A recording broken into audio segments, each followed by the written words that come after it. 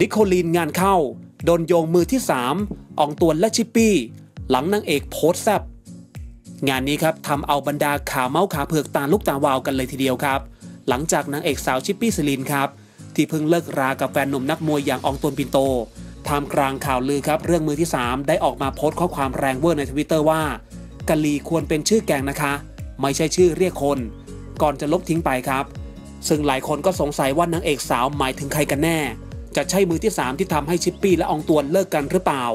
ล่าสุดครับทางเพจดังได้เผยข้อมูลจากวงใน พร้อมโชว์คอมเมนต์เกี่ยวกับเรื่องนี้ระบุว่า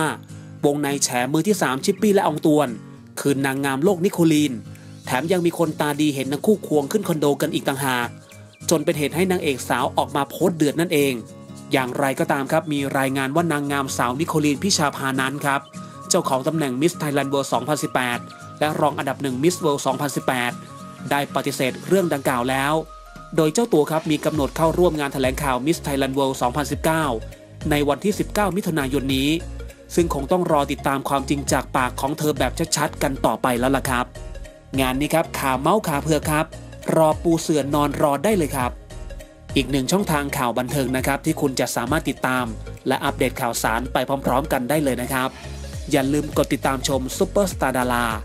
แล้วก็อย่าลืมเข้ามาติชมหรือคอมเมนต์ มาร่วมแชร์ร่วมแสดงความคิดเห็นกันได้เต็มที่เลยนะครับ ที่สำคัญนะครับต้องขอกราบขอบพระคุณทุกท่านมาก ๆ ด้วยครับ